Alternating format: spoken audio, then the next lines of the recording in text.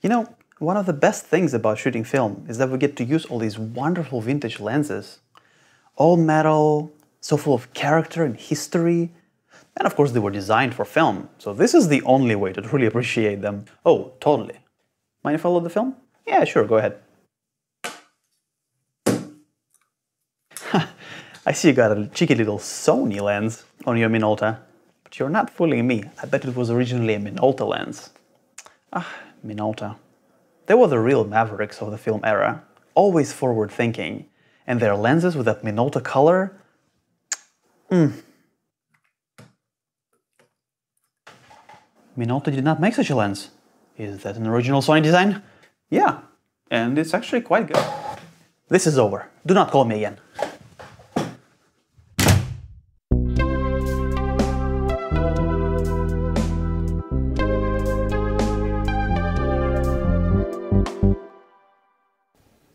Hey folks, I'm Leo Nikishin and this is 10 Rolls of Film. And this is Minolta Autofocus, or A-mount. And I kid you not, it's one of the most important lens mounts in the entire history of photography. Because when it was introduced in 1985, it became the first commercially available, mass-produced lens mount that was designed from the ground up to work with autofocus. And the camera this mount was introduced on, the Minolta 7000, is widely regarded as the first real autofocus SLR. Both the lens system and the camera were an instant hit. Within a year, Nikon introduced an autofocus version of their F mount. Within two years, Canon introduced their brand new autofocus lens mount, the EF mount, and the rest, as they say, is history. The 90s, 2000s, and even early 2010s were truly the golden age of autofocus SLRs, both film and digital. I could dedicate a whole episode to Minolta and their history, but suffice to say that this was not the first nor the last time that they introduced a world's first. To me, Minolta always seemed to be a bit of a Saab of the camera industry, a company that was not afraid to think outside the box and often innovated ahead of its competitors, but did not always manage to really capitalize on those innovations or keep up with further development by their competition. So, if Minolta was all that in a bag of chips, what's with this mount also been referred to as Sony A-mount? Well, that's because despite their knack for innovation and making these in the mid-90s, Minolta initially dismissed the consumer appeal of a digital SLR, and it was only in 2004 that they finally decided to try and catch up, making Minolta, well, Konica Minolta at that point actually, the last major camera manufacturer to do so. The cameras, 7D and 5D, were decent products, but understandably there were some teething issues that the competitors already had the time to iron out. The cameras were rather pricey, and ultimately, it was all too little too late. So in 2005, Konica Minolta first enters a partnership with Sony for future developments, and then a year later, Sony takes over the camera business completely, and buys out all relevant assets. So from 2006 onwards, all new cameras and native lenses are branded Sony, and the mount itself becomes Sony A-mount. However, Sony realized that if they want to sell Sony branded cameras, they also need to get Sony branded lenses on the shelves as soon as possible.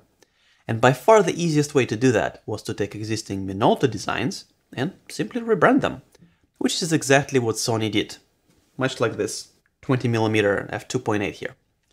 And it worked. Very quickly, there was a fairly extensive lineup of Sony lenses. All well and good. The only problem was that many of those formerly Minolta lenses were rather pricey, especially the primes. And Sony was no doubt aware that the competitors at Canon and Nikon are selling tons of moderately fast, affordable, and yet optically decent prime lenses. Most notable example being, of course, the Nifty 50, the plastic fantastic Canon 50mm f1.8. So the smart pants at Sony decided that they also wanted a piece of the action, and in 2009-2010 they introduced the Easy Choice range of moderately fast, affordable, and yet optically decent prime lenses. 30mm f2.8 macro, the 35mm f1.8, 50mm f1.8, and finally the 85mm f2.8. And these are the lenses that I'm going to talk about in this series.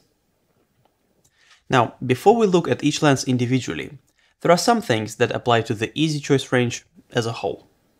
First up, if your number one priority when choosing a lens is build quality and handling, you are dismissed. These lenses are all plastic. No, seriously, the only non-plastic parts are optical elements.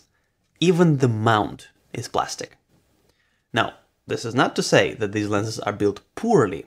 I've had multiple copies of most of them at this point, and did not have a single lens break on me or get cracked or anything like that. But they certainly do not project the same sense of quality and sturdiness that metal clad lenses do. They also scratch rather easily.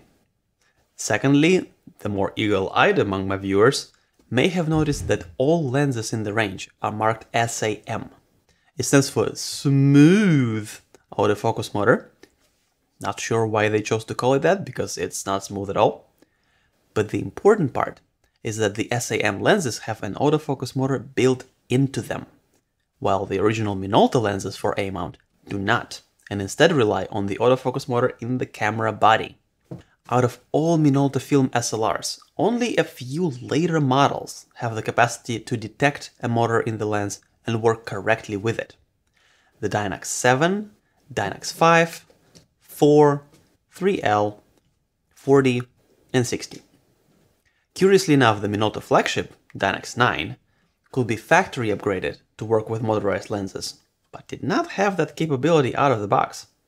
Now, you can still mount these lenses on any other A-mount camera, and nothing terrible will happen, and the mirroring will still work, but the autofocus will not. Next up, three lenses, the 30mm macro, 35mm, and 50mm, are also marked DT. That was a Sony designation for lenses that were designed to cover only an APS-C or crop sensor, which is considerably smaller than a standard 35mm film frame or a full-frame digital sensor, which is the same size. Logically, that should take those three lenses out of consideration for film shooters, doesn't it? I mean, we are shooting full frame, as it were. Well, as you will see when we look at individual lenses, things are not quite so cut and dry. In fact, the only lens that really struggles to cover a standard 35mm frame in any meaningful way, meaning at most aperture settings and focus distances, is the 35mm f1.8. It really produces not just heavy vignetting, but completely black, cut out corners. So that's why I'm not including that lens in my series. Which is a shame really, because otherwise it's a very capable lens. Finally, why should you care about these lenses? After all, Minolta was producing A-mount lenses for over 20 years. So they are abundant on the used market, often at affordable prices, and many of them are excellent performers. Well, clearly that's exactly what A-mount shooters thought when Easy Choice range was introduced because these lenses never sold very well, and Sony did not actually put all that much effort into marketing them either. But there are also some good reasons to consider these budget offerings from Sony.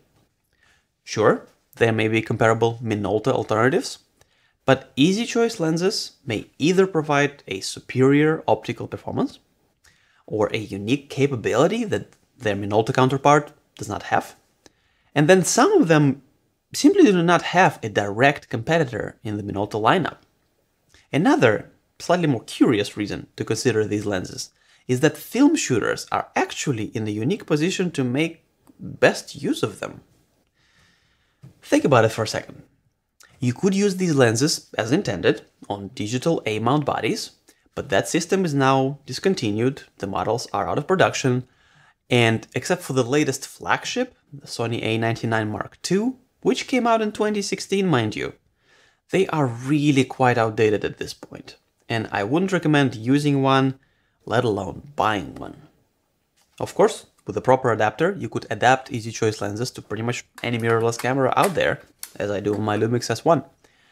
But let me tell you, this use case really highlights the mediocre build quality, because now you are stuck with manual focus and focus rings are easily the worst part of Easy Choice lenses. narrow, wobbly, non-textured with short travel and questionable dampening.